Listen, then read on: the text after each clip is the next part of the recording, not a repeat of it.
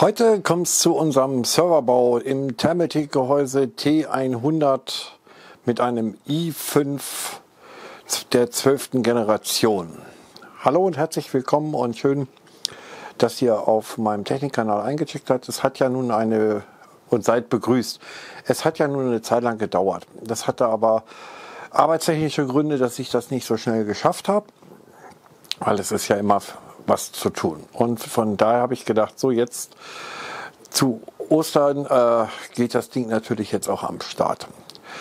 Heute kommen wir dazu, den, äh, zeige ich euch den Zusammenbau. Er läuft natürlich und äh, wie gesagt i5, 12. Generation. Das Ganze kombiniert im, mit fünf SSDs, zwei M.2 und zwei normale SSDs, wenn ich das noch so. Die sind alles im RAID verbunden, deswegen kriegen wir hier eine Heavy Geschwindigkeit und das sollte auch so erreicht werden. 32 GB DDR5 Speicher und auf dem Asus B660 äh, Gaming ITX Board. Und zu diesem Zusammenbau das Ganze mit, einem, mit der Kombi der, der T100 habe ich euch alles schon gezeigt. Die Videos könnt ihr euch noch reinziehen. Äh, in dieser ganzen Kombination ist das schon ein richtig schnelles Ding und schick sieht er auch noch aus obendrein. Natürlich mit einem Original Windows, was man dafür braucht, um damit arbeiten zu können. Und wer sich jetzt fragt, ja, äh, Gaming-Test und so, das können wir wohl bei einem Server vergessen. Aber wir können einen kleinen Leistungscheck machen. Aber hier jetzt hauptsächlich, was kann man aus so einem, kann man das 24-7 laufen lassen? Ich kann euch sagen, kann man. Äh, einzige Problem dabei hat sich gestellt, dass es für das B660 äh, Intel Board, das äh, LGA 1700 noch keine Treiber gab, deswegen läuft das Ganze in Proxmos. Ja, auf die, die ist mein, mein Sohn gekommen. Wir haben eine 10100 10.000 Mbit Grafikkarte noch nachträglich verbaut, eine Asus. Die kriegt ihr noch zu sehen im Check und äh, eben ein 2,5 Giga Onboard. Hier zählt wirklich nur Netzwerkgeschwindigkeit und äh, Power auf den Platten. Alles andere ist nicht wichtig. Grafikkarte ist der äh, integrierte Grafikkarte verbaut und das ist auch dementsprechend passend. So, so ausgequatscht und jetzt geht's ab zum Intel 1700 Bau Check. Viel Spaß beim Video.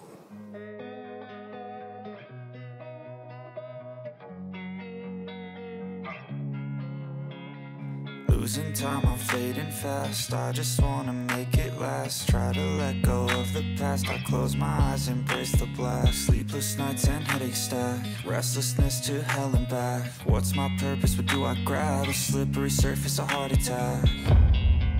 And sometimes you just gotta believe There's something that'll give you relief. There's something that'll have what you need what you mean.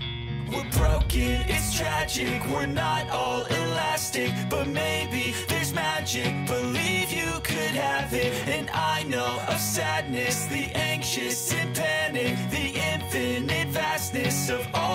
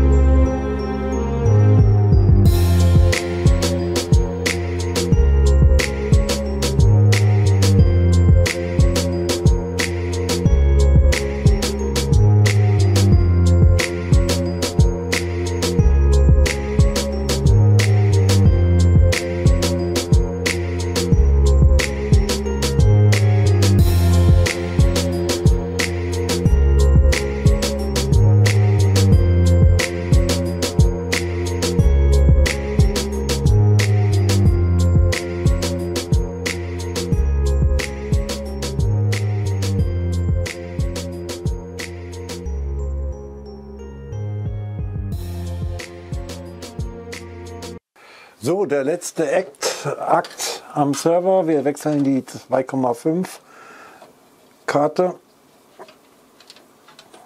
Das ist eine 1225V. Die nehmen wir, das ist hier Gott sei Dank ganz leicht zu machen. Gegen die Asus, also 2,5G im Netzwerk, hat sie sowieso schon onboard. Gegen die Asus XG C100C mit 10 Gig. So, und die hauen wir da jetzt rein. Momentan werden wir da noch keine größeren Leistungsverbesserungen haben, weil wir in dieser Phase noch nicht den dementsprechenden Switches daran haben, Netzwerkswitches.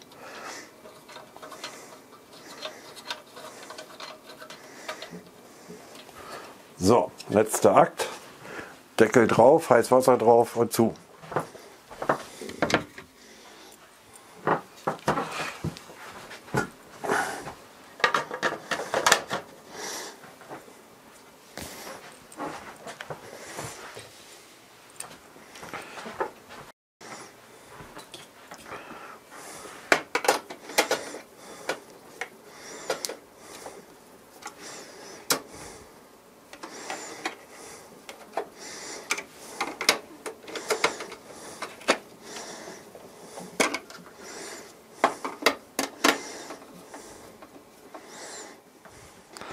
So, erstmal hier ein paar Daten zu der Maschine, wie wir das jetzt hier sehen. Äh, haben wir hier das Rock Strikes Version 4.1.0, ist also noch die etwas ältere BIOS-Version. 12.500er, Geschwindigkeit 4.100 MHz und wir haben 16 GB DDR5 4800 Kingston drin.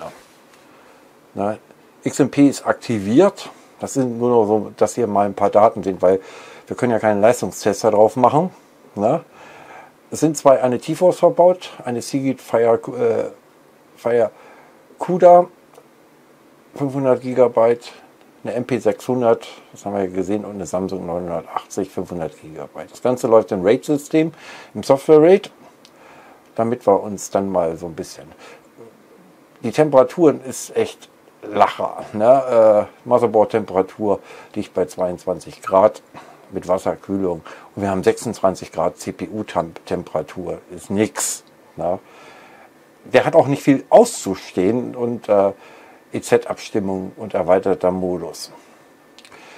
Gut, das sind so mal die, die Daten, die man dann sehen kann, weil beim Windows das ist wahrscheinlich auch nicht sehen können. Wir haben noch hier die äh, I.O., die läuft auf drei, äh, 3154, 70 immer und die Fans. Bei der BIOS-Aufnahme sieht man noch 16 GB, das ist mittlerweile auf 32 geändert mit dem 4800er. Wichtig war mir hier oben, wenn man das sieht, äh, die Lese- und Schreibgeschwindigkeit. Verbaut sind dort zwei SSDs, normale mit 500 ein paar zerquetsche und zwei M.2. Die SSDs bremsen da noch ein bisschen das RAID 5 aus, sonst hätten wir da noch eine ganz andere Leistung. CPU, wie gesagt, lacht sich kaputt und als CPU ist verbaut die, die Intel 12500 i5 mit dem 770 Grafik Onboard Chipsatz.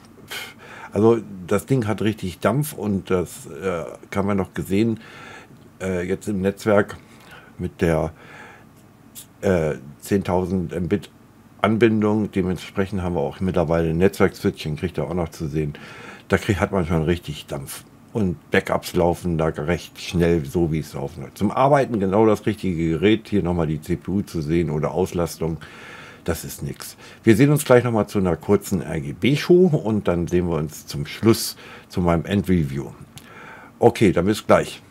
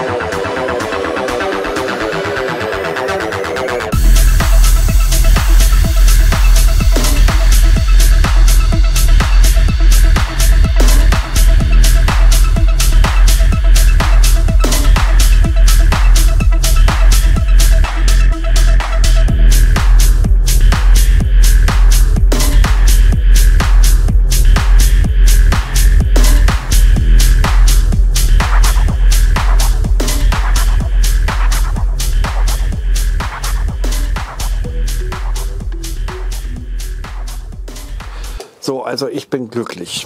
Wir hatten ja nun vorher den, äh, habe ich euch auch gesehen, für HP Fertigrechner dafür. Und durch das Angebot von Thermaltake, das Gehäuse habe ich natürlich umsonst gestellt gekriegt. Das, äh, und wir hatten natürlich auch einiges schon am Start. Zwei M.2 waren bereits am Start. Eine, äh, die RGB von T-Force ist am Start gewesen. Äh, was dazu gekauft werden musste, war halt, äh, und die, die Thermethek nochmal herzlichen Dank an euch. Wir haben auch noch die Lüfter kostenlos zur Verfügung gestellt, damit dieses Projekt verwirklicht werden kann. Wie gesagt, großen Dank an dieser Stelle. Was wir nachgerüstet haben, ist halt das Board, musste man kaufen, die CPU, Speicher und die Netzwerkkarte. So im Groben. Und die Wasserkühlung. Er läuft 24-7 normalerweise, mittlerweile aber im äh, Sparmodus des Stroms haben wir ihn auch, äh, stellt, stellt er sich automatisch morgens um 7 an und beendet um 19 Uhr seinen Dienst. Ausreichend. Schnell genug ist er, im Netzwerk ist er schnell, das ist uns wichtig, dass wir gut arbeiten können, Sachen hin und her kopieren oder äh, transferieren können, Backups und, und, und. Das ist, Ziel ist damit erreicht. Das konnten wir vorher nicht machen. Und damit ist das Ziel erreicht. Preistechnisch, naja, wir reden nicht drüber. Wenn man alles zusammenrechnet, kommt man da schon auf einen stolzen Preis. Aber ich wollte auch, wenn das denn hier schon alles bei mir im Wohnzimmer steht, ist ja Bürowohnzimmer mittlerweile, dann soll es wenigstens auch schick aussehen. Das tut es. RGB ließ sich jetzt nicht einstellen. Äh, dann hätte man Software installieren wollen. Das wollen wir, wollte ich aber nicht. So wie er jetzt konfiguriert ist, finde ich schick. Ist wieder geschwungen Geschmackssache. Es soll für euch ein Andenk Anstoß, ein bisschen oder Denkanstoß sein, dass man sich, wenn man so einen Home-Server braucht, sich den auch selber bauen kann. Weil ein richtiger Server fürs Netzwerk kostet schon richtig Kohle. Wer sich das Ganze nachbauen will, findet natürlich alle Teile wieder in der Videobeschreibung, wie üblich. Würden uns freuen, äh, wenn ihr den äh, Link nutzt, dann supportet den Kanal. Da schon mal danke. Natürlich könnt ihr auch Sachen aufkaufen, wo ihr gerne möchtet. Das ist jedem selbst überlassen. Ich kann mich an dieser Stelle fast nur verabschieden. Äh, nächste Videos am Start. Äh, an die Abonnenten bitte nicht die Glocke vergessen. Und schreibt doch mal selber in die Kommentare, was ihr davon haltet das war's jetzt. Wie gesagt, das wird für die nächsten vier, drei, vier Jahre muss das Ding jetzt funktionieren. Und das wird da auch, dafür ist halt Marke verbaut. Da muss man auch immer so ein bisschen drauf achten. Teuer war am Anfang der nochmal zur der DDR5-Speicher, aber man hat dann auch für die Zukunft was. Ich sage jetzt Tschüss und Bye Bye und äh, ich hoffe, wir sehen uns wieder zum nächsten Technikcheck. Macht's gut, passt auf euch auf und bleibt gesund.